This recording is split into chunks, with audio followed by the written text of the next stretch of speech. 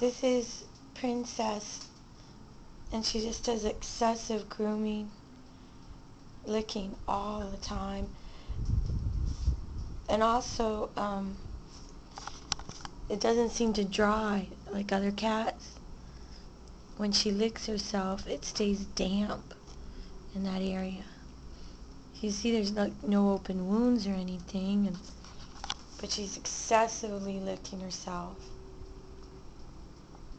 And uh, it stays damp.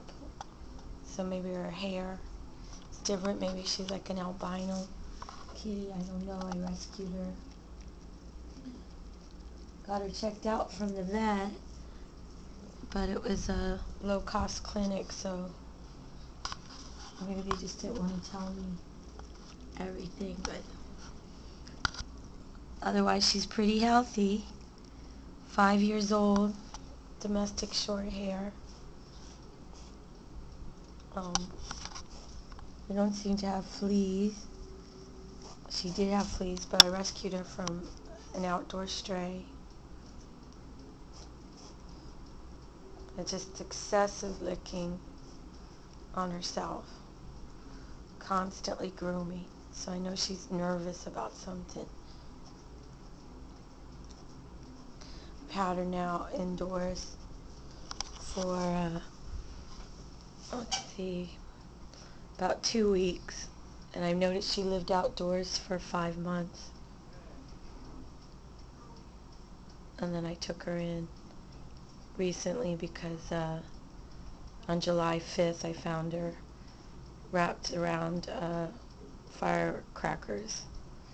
Somebody had lit firecrackers on her and um, that just happened two weeks ago. So that's why I took her to the emergency vet and then decided to keep her as my own, although I'm not allowed to have a cat where I live. So there she is. She's just not licking any particular areas. She's just constantly grooming herself. And uh, otherwise, she uses the litter box. She eats regularly. She drinks water. She uses the litter box. Um, she had diarrhea, but the vet said that was just a change from whatever food she was eating outdoors to eating good food indoors. And I have a separate feeding area, separate sleeping area. She sleeps on the bed with me. But she's just constantly, constantly grooming. She stops grooming when she's sleeping or eating.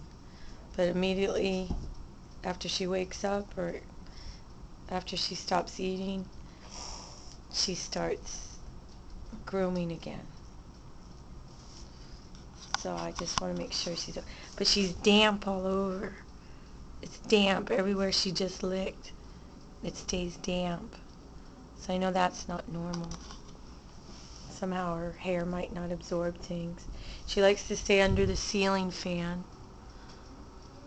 So I don't know, maybe she runs a high temperature, I don't know. But the vet had her temperature at normal. Okay, well this is Princess and the problem is the constant grooming and I wonder if there's something wrong that her hair doesn't dry it stays damp with her own uh, saliva